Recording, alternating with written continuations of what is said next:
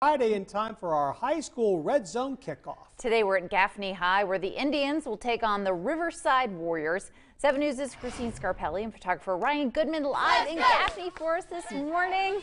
Hey Christine. Let's go! Good morning! Hey Julie, yeah, don't they look fantastic? We are at Gaffney High School ahead of their big game against Riverside tonight. They are loud and proud. They're excited to be up this morning. I know it's cold. We are working through this, guys, and we are here. Uh, the Indian himself, Cray is in costume, no shirt under this thing here, this vest. This is very nicely put together. Did you do this? No, uh, we usually get like uh, the like Cherokee Indians up in Cherokee, North Carolina, Uh-huh. and uh, they they they custom tailored this. So like No the way. headset is there, like they made it, and yeah. Check out that piece of trivia. Well, this- thank you. This, looks has been very here- dangerous. Yeah, this has been here since the first Indian ever. Oh my God. Yeah, it's the original one. That is a rite of passage. Very good. Well, I also want to spotlight the teacher cadets this morning. Glad to have you guys. These guys interested in all different types of teaching, elementary, speech therapy, a little bio, and some nursing here this morning. Guys, give me your first name. Brianna, Kennedy, Caden.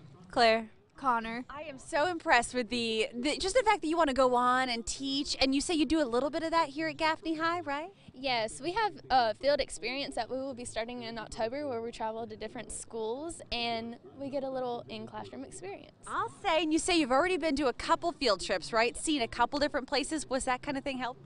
Yes, ma'am. It was really eye opening to all the different experiences we could have. Ooh, any challenges that you can remember? Anything you specifically think was really kind of hard? It showed us like different student behaviors and like what all they go through. Oh, I'll And it was awesome. They're probably not always positive, right? No. I mean, you guys wouldn't have anything to relate to that, right? We're always positive in the morning, right? We, we don't cause any troubles for teachers. Did you guys ever any any issues in class growing up?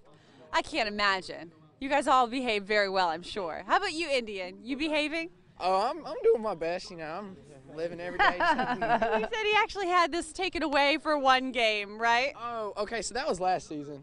Yeah. Oh, so real we were at Union and. Uh, we, we were starting to I don't know if it was because we were beating them real bad or what, but halfway through the game they took it. They took a beat down. Yeah. Well, they took your stick. The stick is back. And guys, let's see how loud Gaffney can be. I want to tell him one more time who's here to win tonight. Let's hear it. Sounds great. Thanks, ma'am. love, the, love the great manners in Gaffney. Yep. Coming up, get ready for four more years of Stephen Colbert in late night. That's coming up in your morning feed.